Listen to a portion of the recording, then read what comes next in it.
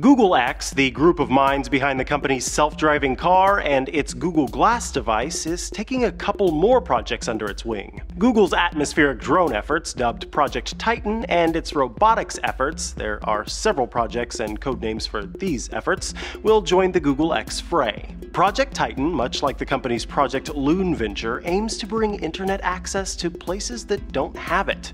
Instead of using a network of internet balloons, that's what Project Loon does, Project Titan relies on solar-powered drones that can stay in the stratosphere for about five years. As for those multiple robotics endeavors, the company is reportedly focusing its efforts on robots used in manufacturing.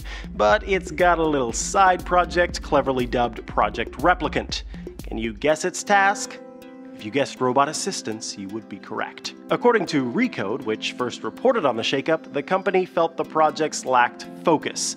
The decision to incubate the two Nebulos projects inside Google X is designed to direct them toward addressing tangible problems. Whether that actually happens has yet to be determined. Google Glass, a project notorious for its lack of focus, pun somewhat intended, was moved out of Google X in order to find a true home for the infamous consumer tech. At the same time, Google's self-driving car continues to make progress and headlines, so being embraced by Google X doesn't appear to definitively spell out success or failure, well, unless you're talking about a face-mounted video camera, Google Glass. If that's the case, your fate is easily predicted.